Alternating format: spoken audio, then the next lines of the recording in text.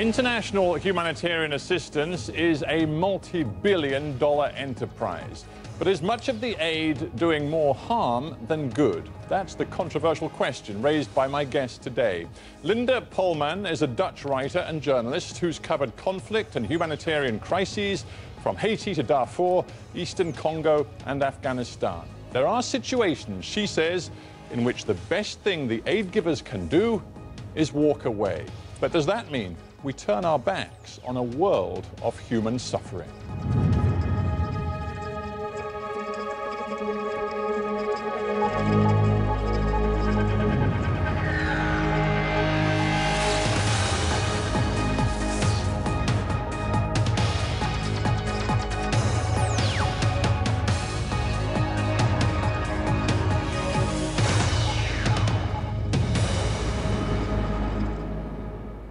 Linda Polman, welcome to Hard Talk. Thank you. Let me begin with the basic philosophy espoused by the International Committee for the Red Cross. They believe that humanitarian assistance should be independent, neutral, and impartial. Do you believe that's impossible? Well, it depends on how aid is received. You can give it in an independent, neutral, and impartial way. But if the people that you give it to mistreat the aid, if they use it for their own causes, then you can sort of be Alice in Wonderland to say, but I'm neutral. But if the aid is not being uh, used in a neutral way, if it's not being received in a neutral way, then, uh, then it is pointless to, uh, to hold on to that neutrality principle. And is it your contention that as soon as an international agency, whether it be the Red Cross or another NGO or indeed the UN, as soon as they begin to believe that the assistance they offer is being abused, they have a duty to stop offering that assistance. Well, it, obviously it depends on, on the amount of, of abuse that is being made but with your aid. Um, we all know the instances where a rebel takes off with a bag of rice, for example, which is perhaps not what we want to happen with that bag of rice, but it happens. But there are many instances, there are many uh, cases in, in which uh, uh, the, uh, the abuse of aid runs into the hundreds of millions of dollars. For example, right now in Somalia, the World Food Programme is under investigation, not because the World Food Programme is the only NGO there um, who, whose aid is being abused, but because it is the biggest NGO there and the abuse is being done in the biggest way there. So right now there's a report uh, at the UN Security Council which, uh, which um, uh, where, where the conclusions of the investigations are being, that, that have been done. Um, the World Food Programme um, donates um, more than $400 million worth of food aid, of which this, uh, uh, the investigators believe that half is actually disappearing straight into the pockets of local warlords. But to so that's $200 million sure. per year. Uh, and we can talk more about the scale of what you see as the abuse, but to return to the uh, opening point you made there, you would uh, accept it's a grey area, that it isn't simply a question of, of saying that, that the way international aid works today is fundamentally flawed because abuse has ruined the principle upon which it was originally based. Well, there are some fundamental flaws in the international aid operations as they are set up in these days. But obviously, you, every time you have to make a balance. Every time again, you have to do the analysis. But it strikes me that, if I may, you always leap to the very negative cases. I mean, uh, you know, you've written a book which caused a big stir in the humanitarian and aid world.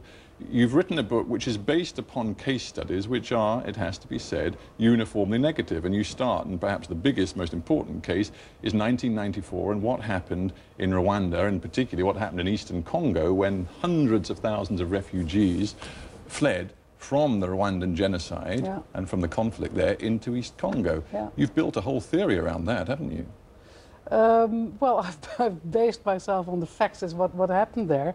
Um, that disaster, the 1994 disaster in Goma, the neighboring country of in Rwanda, Congo, yeah. it, it, went into the annals of the, uh, of the history of humanitarian aid as a total ethical disaster. This is where humanitarian organizations themselves start sort of uh, thinking and start, uh, start analyzing the things that are going wrong with humanitarian aid operations all the time. And in brief, the, the, the feeling that it went so badly wrong was because so much of the aid was poured into camps in that strip of land around Goma in eastern Congo and actually appeared to be giving succor to the people who were responsible for the genocidal killing of Tutsis inside Rwanda and who'd crossed the border. Yes, yes. What we, um, uh, what we didn't uh, realize enough at the time is that the people who we actually saw entering the camps, the people who we saw stumbling out of Rwanda, uh, they were actually not the victims of the, or the survivors of the genocide that had taken place in Rwanda, but it was the other side. It was the people who perpetrated the genocide.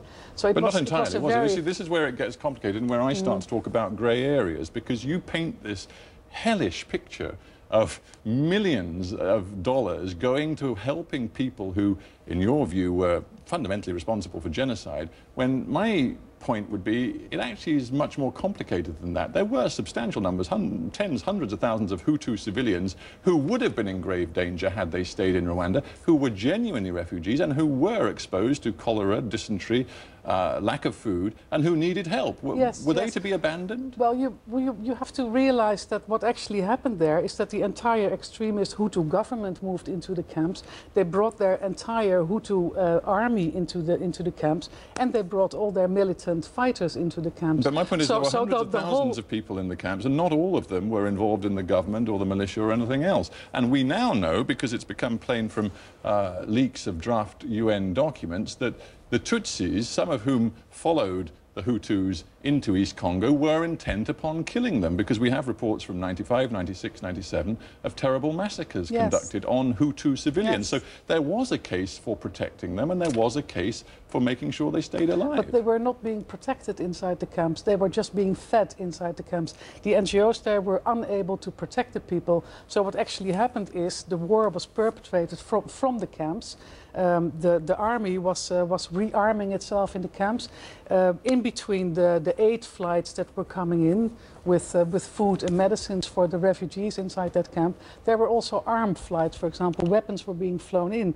So the, uh, the NGOs were actually right in the middle of an ongoing war there, and they were feeding one side of the war, and they were, and they were uh, giving medical care to one side of the war, and enabling the, the Hutu army and the Hutu government to continue their war from the camp. So those so civilians, if I may, those civilians should have been abandoned, should they? Leave aside the Interahamwe and leave leave aside the militia and the government people, but the tens of thousands of civilians who faced death if they didn't receive food and some sort of support, they should have been abandoned because they, were, um, they had in their midst bad people. Is that well, the, uh, the aid operation uh, inside that camp uh, uh went on for two years. And um, uh, everybody within the aid uh, world will also ag agree that two years was much too long.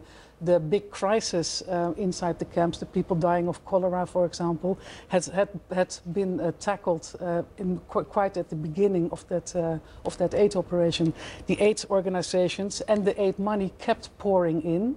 Uh, without there being an, an, a, a, necessity for that.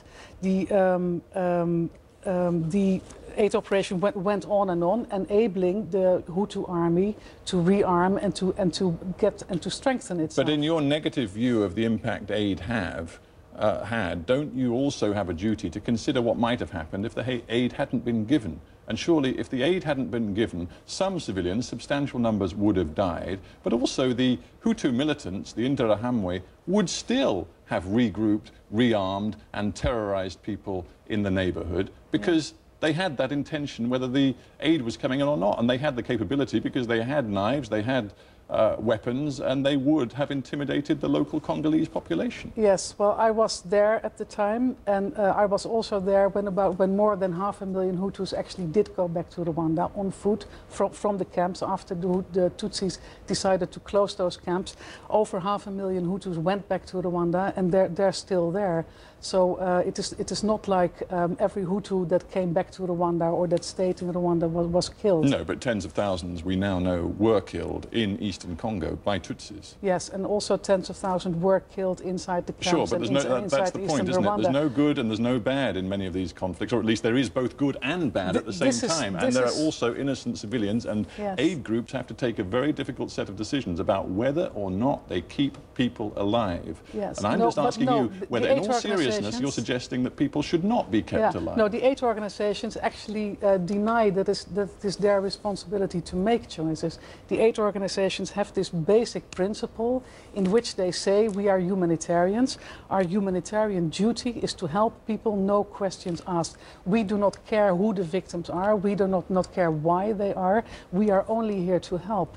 They feel that they are not obliged to, to uh, take into consideration the larger context of aid operations. So if their aid is being abused in Hutu camps or in camps in Darfur, as it's happening at the moment, or in, or in Afghanistan, for example, aid organizations feel it is not their responsibility. Politics They should, turn a blind eye, that. in your view.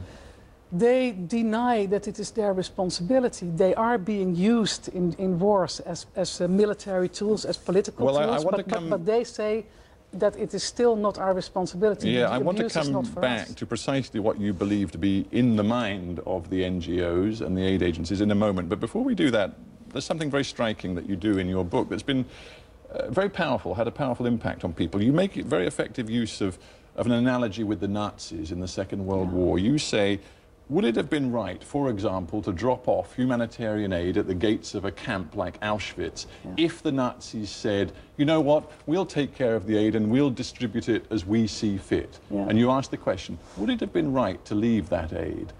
I say to you that that's a very unfair and misleading analogy because if we're dealing with broken societies in sub-Saharan Africa, there is no force like the Nazis which has complete control of the situation. So if you're trying to get aid into eastern Congo or to Darfur, it isn't a question of dealing with a malign force like the Nazis. Um, th- you, I think you are underestimating what is actually happening in practice. You are underestimating how refugee camps are, are, can be militarized places. Refugee camps are often in the parameters of, uh, of wars. Uh, you must realize that uh, refugee camps are being used and abused by armies and by rebel groups. But I mean, we, we, To- I have to- been to- to, many stall- refugee camps in the course people, of my yeah. journalistic career, and I've been aware of fundamental problems, many of which you've alluded to, in East Congo and other camps that I've seen. But I have never drawn a direct parallel in what I've seen to the running of a camp like Auschwitz. It seems to me you've taken your example to a completely misleading extreme.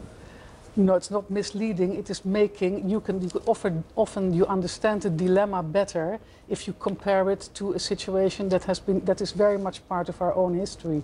We are we very much more relate to what happened in Auschwitz. That is where our set of moral standards start and finish. Then we uh, then we take uh, then we can. Uh, compare our situation with a refugee camp in Darfur, for example. So if you want to make clear at, with what moral standards and what moral dilemmas you're actually dealing inside refugee crisis or inside uh, uh, famines that have been caused on purpose, for example, then I, I believe it is, uh, it is justified to use an example which, which we can all relate to. We But the all, message, we of course. understand. Okay, so the message, of course, is just as nobody would consider it reasonable to leave aid on the doorsteps of Auschwitz, you're suggesting it's entirely unreasonable to leave aid on the doorstep of, for example, a UNDP displaced persons camp in Darfur. No, we, the, the thing surely is that's that the logic that you're, the, you're the, using. the thing is that, that you have to make a balance. You have to know what your aid is actually doing, what, what consequences your aid is having inside war crisis, inside refugee crisis. You have to make a balance. If, if the balance goes into the direction of your aid doing more harm than good, if the balance goes into your aid actually uh, intensifying wars and prolonging wars, then you have to ask yourself a question: Is it is it uh, better? Is it in the interest of the victims to, to stay, or is it in the interesting or the interest of the victims to find other ways to aid them? Well, we'll talk about the other ways, but I just want to point out you've upset an awful lot of people in the humanitarian and aid business, if I can put it that way, with your analysis. I mean, De- Desmond Tutu, for example, talks about aid critics who ignore the benefits that aid has brought to millions of people. They're at best misguided, at worst putting the, their ideology before the lives of poor men, women, and children. Oxfam point out that in the last 10 years, measurably 30 million people, uh, or 30 million children, I should say, have been educated because of international aid efforts. Vast numbers of people have got HIV treatment because of international aid efforts. The same with the combating of malaria. These are tangible results delivered by international aid, are they not? Yes, but there's nowhere in my book where I deny that aid is saving lives and that it is improving lives. I'm only saying in my book that in many cases aid can be delivered in a much better and much less harmful way. So um, um, it is a pity that um, uh, uh, discussions about aid are often so very emotionally laden. Um, you should um, uh, try, try to keep it objective. You should try to, to take the emotions out of it. Try to keep it objective. I mean, I mean you know, we, we, can, we can talk about the micro picture of the, of the little child in a refugee camp with flies in its nose and with the big belly because out of hunger, you know, and that you can, you can use as a sort of justification for aid, you know. Uh, but you, you should also take but, the, but the I'm, larger I'm, I'm precisely into... not doing that. That's why I'm using the, the, the, the macro picture, the, yes. the 30 million children being schooled because of international yes. aid interventions. I mean, the point seems to be that you have a feeling that international aid is driven by this, you use the word caravanserai, this sort of misery caravan, the, the sort of fashionable uh, human catastrophe where all of the aid agencies flood in, there's massive inefficiency, competition to win the most money from the international community, and things go wrong very quickly. But I would put it to you, from my own journalistic career as much as anything else, that I see in all different sorts of uh, difficult places international aid commitments over the long term helping communities in a very tangible way. Do you not see that? Yes, I do, but I also see the many things that go wrong on a large scale. And I believe that we are responsible for delivering the aid in the best way possible. If we can improve things about aid, then we should not, uh, not do that. We should deliver aid in the best way possible. And I'm happy to say that there, yes, there are a lot of uh, people who feel that, uh, that, uh, that, um, that um, uh, you should not criticize aid because, because aid is saving people. I can also report to you that there's lots of uh, people inside the aid world who are making exactly the same analysis as I do, and who actually uh, who but, actually suggest yeah, but, but, ways. But with respect, what they say you're not doing is is acknowledging how much things have changed since '94. A lot of learning was done in '94, as you said. Phil Bloomer, uh, Oxfam policy director, says that right now, today, uh, we need a grown-up debate about the many successes as well as some of the isolated failures that we've seen in the humanitarian yes. assistance yes, yes. world. But he says you don't pay account to the successes. Well, I mean, only only a week ago, a, a, a new report emerged from the from, from the Overseas Development Institute um, in England. Um, um, Who, by the way, have spent a lot of time criticizing your work. Yes, but uh, they, they, they, came back on their rather emotional arguments that they used uh, uh, soon after the book came out. Uh, their, their, their, latest analysis of the book is that they actually follow 99% um, um, of the conclusions that I make.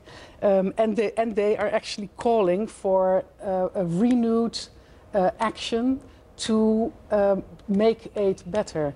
They are actually saying that it is now time to force aid organizations to follow up on their own suggestions about aid, how aid can but be. But there is auditing and, and monitoring, and, and, there has been for quite a long time. I mean, that's nothing new. This is very true. There, there, are, there, there have been so many but seminars, conferences, codes of conduct, etc. You know, you know, but, but all of them, all of them are not binding. But when you say that to me, and you talk about, oh, there have been so many conferences and seminars, there is a strand of cynicism I pick up in your view of the international well, humanitarian I, I it, business. I find it extremely uh, depressing to, to know that the international aid world woke up in 1994 and 1995 in Goma. But, and, and, and, in, and in 2010, they, they have to admit that not a lot has changed. But hang on a minute. You say some very powerful things. You describe these NGOs as, quote, businesses dressed up like Mother Teresa.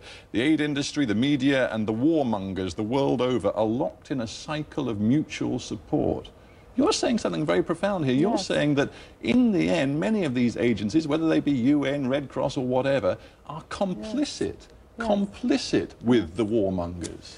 Uh, they are they, they, put themselves um, into into their into their claws as hostages in a voluntary no, way. No, you're saying, with respect, you're saying something bigger than that. You're saying that because of the the big SUVs and the tax-free salaries and the whole rigmarole that goes with the international aid industry, these people get sucked into a, a sort of way of thinking which is actually malign, which you equate and you suggested that perhaps there should be court uh, courtroom appearances by some NGOs, you suggest is complicity in war crimes. Yes, it is one of the major uh, suggestions that the ODI is making now uh, to make it possible to uh, complain and to uh, about aid, failure of aid operations and bad performances of aid organizations, and to make it actually possible to uh, to hold, hold, them accountable and to bring them to court if they if they fail to do to do what they promised to do. Do you? So, I mean, so, I mean it is also it is also it's, it's a big claim to make. Are you world, telling me that in your experience, and goodness knows you've travelled from Haiti to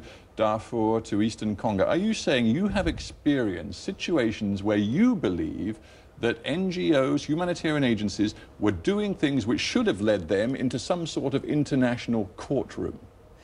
Um, well, I mean, you could uh, let some lawyers go loose on uh, what is happening inside Sudan, for example, for the past quarter of a century, where international aid organizations are actually um, um, volunteering to aid a very um, um, uh, um, cruel military government. Well, hang on a minute. They're not to, volunteering to, to, aid this government. They have to uh, recognize a reality, which is that they have to, to a certain extent, work with this government to get the aid to the displaced persons who they believe would be in grave danger if they didn't offer them assistance. And there's no way of doing it without the cooperation of the Khartoum government. Yeah, but you are now you are now suggesting in your in your questions that to say no to a crisis is not an option. But you're suggesting that, that, to say you, yes to helping people is a crime.